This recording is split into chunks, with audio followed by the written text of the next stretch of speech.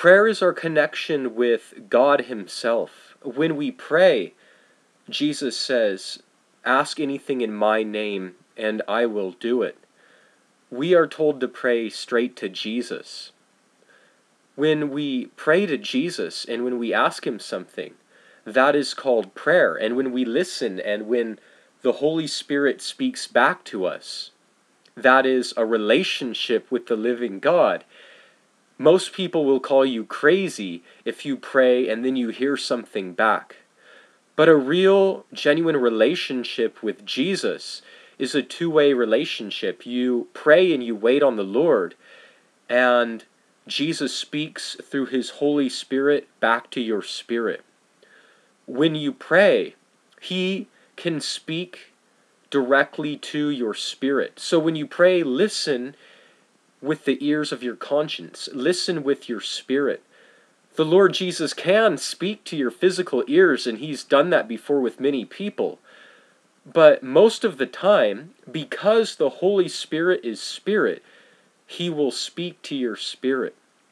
Your connection with the Lord Jesus is prayer. Now, some people have wondered when Paul wrote to pray without ceasing, is that really possible?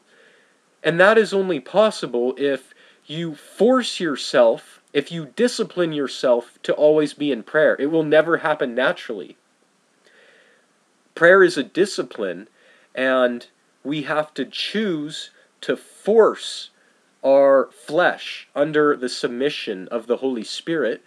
And if we don't put our flesh down and put to death our flesh and become into the submission of the Holy Spirit, then there is no way we can ever pray continually.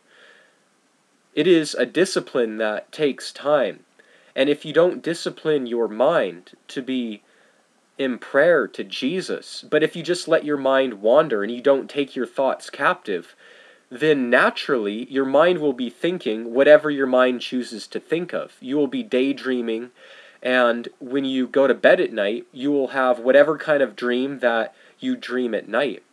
But if you choose to pray in the Spirit and continually pray, then the Holy Spirit starts to intercede for you.